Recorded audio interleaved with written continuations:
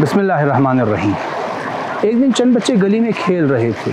انہوں نے دیکھا کہ رسول اکرم صلی اللہ علیہ وآلہ وسلم نماز پڑھنے کے لیے مسجد کی جانب جا رہے ہیں۔ وہ رک گئے اور رسول اکرم صلی اللہ علیہ وآلہ وسلم کی جانب گئے۔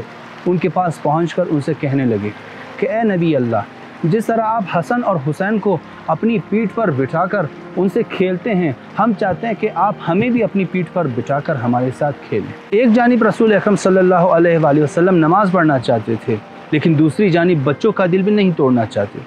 اتنے میں حضرت بلال مسجد سے باہر آئے اور رسول اکرم صلی اللہ علیہ وآلہ وسلم کو ڈھونڈنے لگے۔ تو دیکھا کہ بچوں نے رسول اکرم کو گھیر رکھا ہے اور ان سے کھیلنے کا تقاضا کر رہے ہیں۔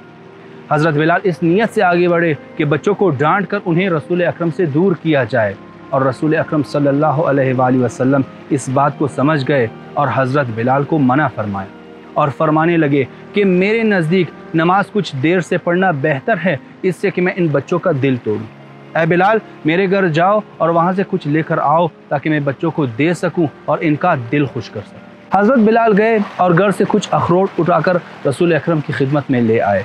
رسول اکرم صلی اللہ علیہ وآلہ وسلم نے ان اخروٹوں کو ان بچوں میں تقسیم کیا اور یہ بچے ان اخروٹوں کو لے کر خوشی خوشی دوبارہ کھیلنے کی جانب چلے گئے اور رسول اکرم صلی اللہ علیہ وآلہ وسلم مسجد میں نماز ادا کرنے کے لیے گئے اور وہاں پر صحابہ کے ساتھ نماز ادا کی۔ رسول اکرم صلی اللہ علیہ وآلہ وسلم کے اس مختصر اور خوبصورت واقعے میں ہمیں بچوں کی تربیت کے حوالے سے تین اہم درس ملتے ہیں جو یہ ہیں۔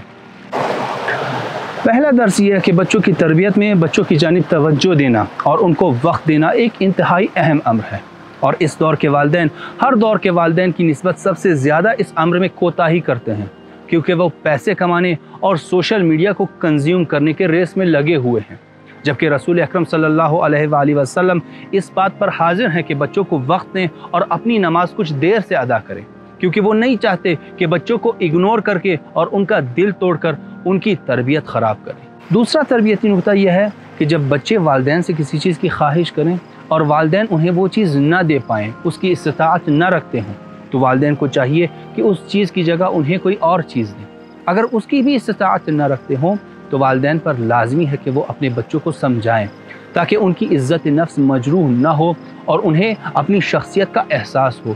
کہ میرے والدین میری شخصیت کا احترام کرتے ہیں تاکہ وہ احساس کمتری کا شکار نہ ہو تیسرا اور آخری تربیتی نقطہ یہ ہے کہ جب بچوں کو کوئی بات سمجھانی ہو تو دوسروں کے سامنے ڈانٹ کر سمجھانا صحیح اور معقول طریقہ نہیں ہے، بلکہ سمجھانے کے لیے مناسب جگہ اور مناسب وقت کا انتظار کرنا چاہیے۔